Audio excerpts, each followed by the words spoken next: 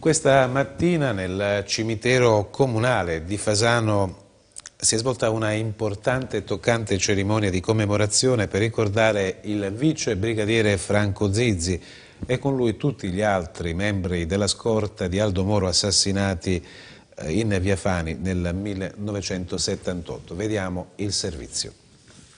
16 marzo 1978 il fasanese Franco Zizzi, parte della scorta dell'onorevole Aldo Moro, viene assassinato dalle Brigate Rosse. Nell'agguato in cui, oltre a perdere la vita altri quattro poliziotti, viene rapito il presidente della democrazia cristiana Aldo Moro. Il terribile agguato avvenne a Roma tra via Fani e via Stresa nel giorno della presentazione del nuovo governo, guidato da Giulio Andreotti. Questa pagina di cronaca nera è ricordata ogni anno in tutta Italia per non dimenticare le vittime di questo vero e proprio attentato allo Stato italiano, un evento che ha segnato la storia politica e sociale del Paese ed è ancora oggi oggetto di discussione. Come ogni anno in occasione dei 34 anni dalla strage, nella chiesa del cimitero di Fasano è stata celebrata una messa in ricordo del vice brigadiere di polizia Zizzi. Presenti rappresentanti delle forze dell'ordine e istituzioni locali. La cerimonia commemorativa si è conclusa dinanzi alla tomba monumentale del poliziotto fasanese, dove il primo cittadino Lello di Bari ha lasciato un omaggio floreale e Don Claudio Macchitella ha dato la sua benedizione. Commossa dopo 34 anni anni la sorella del brigadiere. È lo stesso ricordo, come se fosse stato il primo anno. Il primo anno. È un'emozione forte che si prova, un amore grande per lui. Ci auguriamo di ritrovarci in cielo perché siamo credenti e crediamo che la sua morte non sia stata vana, crediamo, crediamo in Dio, crediamo nel fatto che potremo rincontrarci così come ha detto il cappellano militare durante la celebrazione della messa. Per qualcosa sarà servita la sua morte, per noi, per tutti, per la società civile una giornata importante perché serve a farci ricordare quello che un nostro concittadino ha fatto suo malgrado immolandosi per una pari per garantire a tutti noi uno Stato libero, quindi un momento estremamente importante, un momento estremamente emozionante e commovente. Noi dobbiamo iniziare dal ricordo, ricordando il sacrificio di questo di quest'uomo, di questo appartenente alla, al corpo delle guardie di pubblica sicurezza, il brigadiere di pubblica sicurezza Zizzi immolò la sua vita per, eh, per difendere le istituzioni eh, adempiendo a quello che era il suo dovere, il suo compito.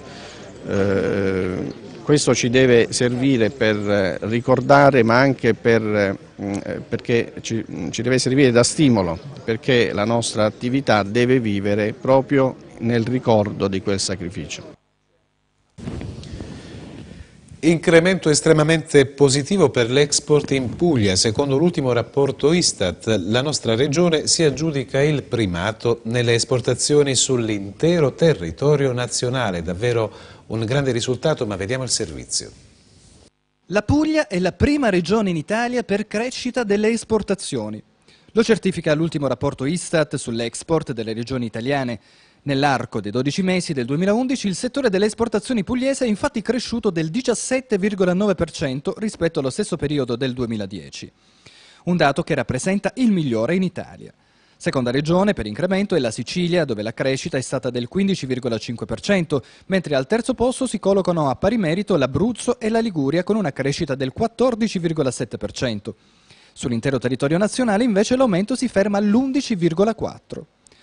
La differenza di 1,25 miliardi di euro tra i dati assoluti del 2011 rispetto a quelli del 2010 è l'unico spread che ci riempie d'orgoglio e il commento del governatore Nichi Vendola che evidenzia come la Puglia sia espressione di un'inversione di tendenza che dimostra come si possa uscire dallo stereotipo del sud piagnone proponendosi oggi come il territorio in Italia che cresce di più sui mercati esteri. Nel 2011 le vendite all'estero della Puglia valgono 8,159 miliardi di euro con una crescita rispetto ai valori pre-crisi del 2008 di 719 milioni. La Puglia dunque supera i valori precedenti alla crisi globale del 9,6%. Se poi guardiamo i numeri assoluti del 2010 si passa da 6,919 miliardi agli 8,159 attuali, con una crescita di 1,250 miliardi di euro. Il primato della Puglia nelle esportazioni rilevato dall'Istat nel report pubblicato in queste ultime ore arriva dopo un anno di grande crescita nelle esportazioni di trimestre in trimestre, con riposizionamenti anche per settori come il TAC, tessile, abbigliamento e calzaturiero, che hanno particolarmente risentito della crisi degli anni scorsi. Sul fronte dei settori, all'exploit delle vendite dei prodotti dell'estrazione da cave miniere più 158,2%, si aggiunge quella dei mezzi di trasporto in generale più 58,3% e degli autoveicoli in particolare più 70,8%. Forti anche gli articoli in gomma con un più 46,3%. Salgono per più del 30% inoltre i prodotti in legno e gli articoli farmaceutici. Bene il comparto dei prodotti alimentari, bevande e tabacco con un più 17,2% e i metalli con un più 15,1%, mentre i prodotti tessili e dell'abbigliamento, pelli e accessori segnano un più 6,2%. L'estate non è certamente alle porte, siamo ancora in inverno, stiamo per uscire dall'inverno, c'è un'altra stagione di mezzo, ma bisogna muoversi per tempo per organizzare l'estate e ad Ostuni gli operatori turistici, eh, turistico-alberghieri, hanno incontrato l'amministrazione comunale nel pomeriggio di ieri per discutere di alcuni importanti provvedimenti. Vediamo il servizio. Non c'era da parte dell'amministrazione alcun intendimento di mortificare il territorio e né tantomeno gli operatori del settore.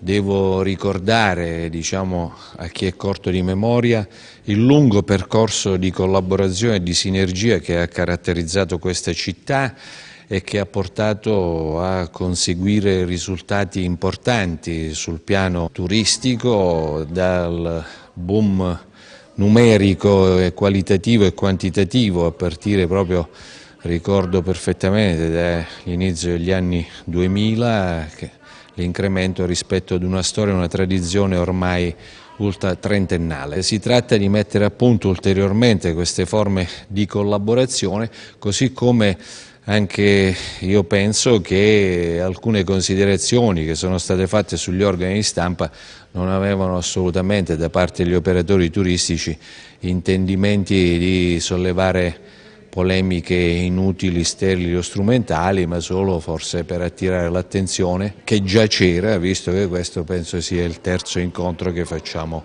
con gli operatori del settore. I temi sono sicuramente l'opportunità o meno in un periodo di crisi in cui anche il turismo è sensibile a aumenti di costo, consideriamo che negli ultimi tempi l'Italia, intesa come destinazione, ha recepito un sacco di aumenti improvvisi dovuti un po' all'Europa ma a fattori contingenti, l'aumento del, del gasolio del 70% che in qualche maniera condiziona anche i costi di trasporto, spesso la presenza di disservizi, eh, di scioperi, di eh, eventi non calcolabili che all'occhio del mondo e del turista in particolare spesso ci rendono poco affidabili da un punto di vista turistico. L'incontro non è in polemica con l'amministrazione, tutt'altro, però voglio sollevare alcuni problemi che sono le prime reazioni dell'introduzione di una tassa di soggiorno. Le reazioni sono quelle di chi organizza e programma eh, i propri tour, si vede costretto ad applicare al proprio cliente una, una tassa che eh, se vogliamo eh, è stata tirata fuori non nei tempi giusti a nostro avviso di chi fa programmazione spesso 12 mesi prima.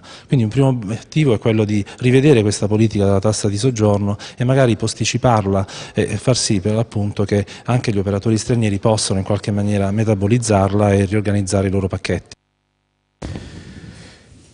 A Cisternino l'opposizione consigliare per voce del capogruppo del PDL Mario Saponaro critica l'attività della Giunta Baccaro rivolgendo le sue attenzioni su alcuni punti importanti della pianificazione amministrativa. Vediamo.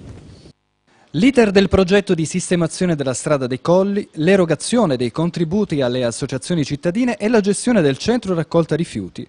Sono le questioni principali sulle quali rivolge le proprie attenzioni dai banchi dell'opposizione consigliare a Cisternino il PDL guidato dal capogruppo Mario Saponaro punti al centro del confronto politico-amministrativo in atto tra le forze di minoranza e la maggioranza guidata dal sindaco Donato Baccaro. A Cisternino le associazioni rappresentano una colonna portante di tutto quello che è il non profit e quindi dargli delle, fare l'elemosina, per cui stiamo parlando di poco meno di 20.000 euro è semplicemente ridicolo e, o anche offensivo per tutta l'attività che fanno queste associazioni. Noi abbiamo chiesto semplicemente che venisse applicato il regolamento e che i contributi venissero dati in ragione della loro effettiva attività associativa.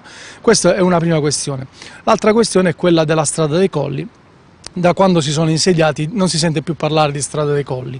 Eh, già nella passata legislatura avevamo eh, segnalato le difficoltà eh, rispetto al progetto che è stato presentato e che eh, diciamo, prevederebbe un finanziamento di 4 milioni di euro. Io eh, mi auguro che l'amministrazione non ci metta nelle condizioni di perdere quel finanziamento di 4 milioni di euro che servirebbe a mio parere a sviluppare quell'area non già eh, con una strada devastante eh, di collegamento che non serve, ma con una strada con un sistema viario che possa permettere di eh, individuare quel territorio come percorribile a fini turistici, quindi una strada che rispetti quel territorio, l'orografia di quel territorio, magari creando anche delle aree di sosta, piste ciclabili e quant'altro. Questo è per quanto riguarda la questione della strada dei colli. Poi, in ultimo, io con grandissima soddisfazione devo rilevare che finalmente finalmente la Commissione Paesaggio ha fermato quel progetto che prevedeva l'edificazione di un centro di raccolta rifiuti in contrada Peppe Turro. Un centro di raccolta che io ho sempre criticato, avevo scritto alla regione, avevo eh, segnalato che lì in quel punto non c'erano più le condizioni né giuridiche né urbanistiche quindi per, fare, eh, per realizzare lì un centro di raccolta il percorso si è fermato ancora prima che si arrivasse a una, eh, una sentenza del TAR eventualmente, eh, però ecco, si è fermato grazie appunto alla Commissione Paesaggio. Nel frattempo purtroppo dei cittadini hanno già speso quasi 10.000 euro per presentare un ricorso al TAR, adesso eh, bisognerà vedere se questi cittadini che comunque hanno speso questi soldi, hanno anticipato questi soldi, eh, potranno anche chiedere di essere ristorati dall'amministrazione. Io evidentemente in quel caso sarò il primo a dire che quei soldi li devono rimborsare gli attuali amministratori. Ed ora andiamo a Francavilla Fontana dove sta per partire l'evento in assoluto più sentito non solo dalla comunità locale, parliamo dei riti della settimana santa, conferenza stampa di presentazione questa mattina, l'ha seguita per noi Agnese Poci, il suo servizio. La Puglia non è solo la terra del mare e del sole, ma anche della fede e dei pellegrinaggi e la città di Francavilla Fontana ne è la dimostrazione tangibile. I riti della settimana santa della città degli imperiali superano i confini regionali e attraverso un notevole impegno nella promozione delle loro peculiarità raggiungono la capitale, Roma. Qui saranno protagonisti di una mostra fotografica allestita presso la Sala Santa Rita nei pressi di Piazza Campitelli. A presentarlo ufficialmente alla stampa e alla città sono stati il sindaco di Francavilla Fontana Vincenzo della Corte, l'assessore al turismo Mimo Bungaro e l'onorevole Luigi Vitali e il consigliere regionale Pietro Iurlaro. La mostra sarà suddivisa in una sezione fotografica con gli scatti di Antimo Altavilla, Giuseppe Lombardi e Alessandro Rodia e in una sezione completamente dedicata ai camici ricamati messi a disposizione dalle confraternite francavillesi. Per tutto il corso della mostra sarà anche proiettato un film documentario del 2006 prodotto dal comune di Francavilla Fontana sui riti della settimana santa. Dalla città degli imperiali sta partendo proprio in occasione della giornata di inaugurazione della mostra un bus con 54 persone proprio per l'occasione. La mostra, che ha ricevuto il patrocinio della Regione Puglia, della Regione Lazio, della provincia di Brindisi e della provincia di Roma, della Camera di Commercio di Brindisi e del brand Roma Capitale, dopo quattro giorni a Roma tornerà in Puglia, esattamente nella chiesa di Sant'Angelo in via Roma a Francavilla Fontana, dove il 31 marzo verrà inaugurata proprio in concomitanza con l'inizio della settimana santa. L'amministrazione comunale è impegnata da alcuni anni a promuovere questi riti eh, religiosi perché riteniamo opportuno, eh, riteniamo soprattutto doveroso fare ciò, perché sono unici. Eh, e se Roma Roma Capitale ha deciso di illustrare eh, tramite una mostra fotografica i riti di Francavilla Fontana appunto nella capitale del mondo significa che diciamo, c'è molto interesse in, eh, questa, in, questo evento. Noi l'amministrazione comunale non fa altro che promuovere questo evento senza entrare nel folklore, senza diciamo, entrare nei particolari che eh, chiaramente gestisce eh, la, la, la, Chiesa o addirittura le confraternite.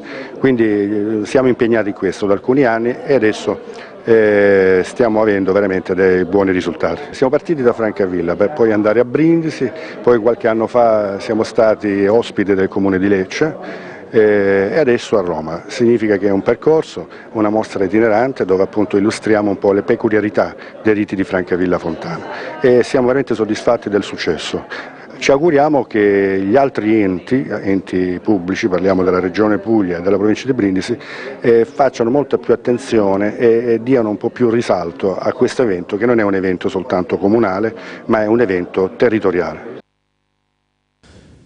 E con eh, i riti della settimana santa di Francavilla Fontana chiudiamo questa edizione del giornale, non prima ovviamente di avervi ringraziato per la solita cortese attenzione che ci riservate. Grazie ancora. Questa edizione del telegiornale è possibile rivederla sul nostro sito www.trcb.it.